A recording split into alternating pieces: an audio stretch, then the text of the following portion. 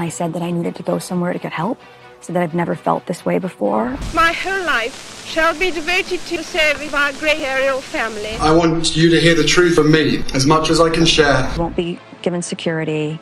It's not going to be given a title. La reina Isabel II perdió la vida el pasado jueves 8 de septiembre, y desde ese momento se han retomado las múltiples teorías que aseguran que esta monarca no era de este planeta. Realmente la conocida reina Isabel II tenía un enorme poder en sus manos, pues ella podía elegir y despedir a ministros, disolver el parlamento y hasta incluso acabar con los gobiernos de otros países de los cuales ella era monarca, sin contar que gobernaba más de 14 países, entre los cuales Canadá y Nueva Zelanda. Pero si hay algo que aseguran está mucho más oculto, y es que todo este poder de la reina en realidad es el poder del Templo de la Corona, dirigido nada más y nada menos que por la conocida Iglesia romana. Cuando nos referimos entonces al Templo de la Corona, nos referimos a los Caballeros Templarios, ubicados en el distrito del Templo de Londres, en el lugar donde se encuentran las oficinas de la Corona. Allí mismo, entre otras cosas, se erige el sistema judicial del mundo entero. Pero para que este templo pueda controlar el sistema judicial del mundo entero,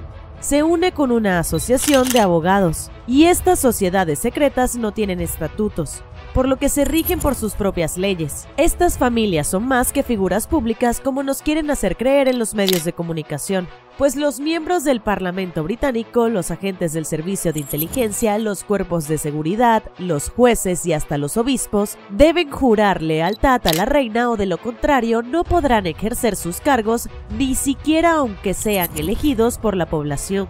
En definitiva, la corona simbolizada por esta monarquía tiene el control de todo, y siempre eligen un soberano representante, que significa ejercer la autoridad suprema y permanente. Pero además también existen múltiples teorías que aseguran que la conocida monarca más longeva de toda la historia en el Reino Unido no es de este planeta.